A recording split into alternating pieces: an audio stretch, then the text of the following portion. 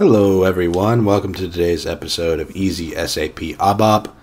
So, I had a request from a subscriber, either via email or comment, can't remember, but one of the two. Um, how does the refresh method work on the CL underscore SALV underscore table class? So, what I've done, I've created this really simple, actually, it's not a module pool program because this is just a regular executable program if I come here and execute it, I can execute it without a transaction. But having created this in SE80, I can add screens, GUI status, GUI title. So we'll go over what I've done real quick. I've got this program. I've created a GUI title. It just says uh, my test program. Created a GUI status. The GUI status is just going to only be back cancel exit for our back cancel exit buttons that's the only thing I've done in here. I haven't done anything else. So I'll go back. I've created a screen, called it 9000. Created a module, status 9000. Status 9000 sets the PF status, the title bar, and calls this a init tree method. We'll get into that in just a second. And it handles the user command. Back cancel or exit, it'll leave program. So that's all we're doing in those two modules. Um, the layout is going to be like the most simple one you've ever seen. Our actual layout for Screen 9000 is just going to be a custom GUI container. We'll let this load. I've just made a big old screen here and created a custom GUI container, which is right down here, custom control, and called it container 1. Get out of here. Go back to our actual program. This is going to be the driver program for this. Let's look down here. Start a selection. I'm calling screen 9000, which we just saw. Again, I went over these two modules, but in the process before output module, I've got this method, well, not this method, this subroutine called init table. Let's go over our global variables so you guys understand what's going on. I've got a table, GTSPFLI, which is a standard table of type SPFLI, a structure for that GTSPFLI, just called GS SPFLI, OK code, which is going to be our user command code for our actual screen 9000, GR table, and container, which are references respectively to CLSALV table and GUI custom container. So what's going to happen, these modules are going to be called respectively. The output module is going to be called before the screen is displayed. It'll call this a init table. A init table is going to see if the container, our GR container, is already um, assigned, bound, if there's already an object. If it's not, it's going to create our container, container name 1, we're going to select some data from SPFLI into our global table, GT SPFLI. Then we're going to create our CLSALV table by calling the factory method, passing in the parent, R container, as GR container, which is on our screen 9000. we're going to say assign this CLSALV table to GR underscore table, which is a global reference to the CLSALV table class.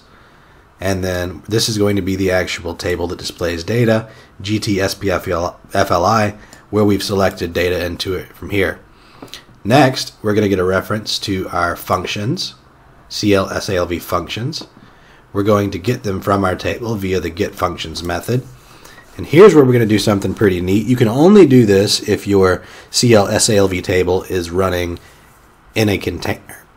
So if it's running in a container, you can add functions dynamically with this add function method.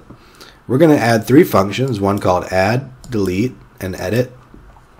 Everything else here is kind of self-explanatory. The um, icon's kind of cryptic. What you're actually going to have to do to get this icon is go into report show icon, double click on an icon, and then figure out its internal name. That's what this report expects. Then we're going to get our events, CLSALV events table, from our global reference to our CLSALV table into this variable, LR underscore event. We're going to set a handler method for this event, and then we're going to display our table. So if I just run this really quickly, what I'm going to actually have happen is our process before output method is going to get called. It's going to init the tree, and it's going to do these different add table row, delete table row, edit row, and we've actually got this non-full screen. I mean, it comes out pretty far here, but this is just where the screen painter um, edge of the screen is. the table control doesn't extend that far, but we've got our screen with our data in it. We can select single rows here. Um, and we have three added functions. We've coded for back, well, I got those two backwards. Back exit cancel, but back cancel exit. In our process after input module user command underscore 9000, I say if it's any of these, leave program, which is why if I click on back, exit, or cancel, then it leaves program. So what we want to look at really here though guys is the refresh method of CLSALV table. Now the refresh method for CLSALV table is really easy. Basically if you modify the um, internal table that the CLSALV table is displaying, so if I scroll up in my code, it's this GTSPFLI, any modifications to this table are going to be reflected when you call the refresh method on your gr underscore table, your CLSALV table reference. So to demonstrate that, I've set this handler class's handle method for the event added function of CLSALV events table. It's going to import ESALV function, which is just a function code. So I'm going to actually create the implementation for this handle method. I'm going to do a case statement on ESALV function we're going to check whether either the add added function, the delete added function, or the edit added function, which we define down here in these add functions methods was called. And we're going to take different steps depending on which. So we'll see add, we get our, well, I'm actually trying to see what the heck I got going on here. These need to be defined further down here. Sorry guys, I should have checked this code a little bit before I decided to show it to all you folks. So in the add method, all we're doing is taking our global structure SPFLI car ID and setting it to TST, appending our structure to our global table, which is uh, being represented in GR table, and then calling this refresh method. So if we run this code, we should see a new line added with just car ID populated with TST. And all that's going to do is just add this uh, fictitious record. So when we run our code, we'll uh, be able to see what this add function is doing. And again, this is down here from the add function. We said that the name was add, so this add function is going to get called as opposed to these other functions. So now if we run our code, we say add row. We see down here carrier ID TST. It's added. I could click this again and again and again. It's going to keep doing the same thing. So that's not very dynamic. Neither is delete. I've said just delete GT SPFLI at index 1 and then refresh the table. So if I run this again, I say delete row. I could delete all the way to the end here, which I won't because I'll get a short dump because I haven't checked to see if there's any rows remaining. But how do we do something more dynamic? So edit row. All I'm doing in edit row is I'm editing this manually. I'm saying city from equals Savannah. Um, you would typically prompt a user for input, but I'm just doing it for this. But what we're doing is we're getting the rows object from our table.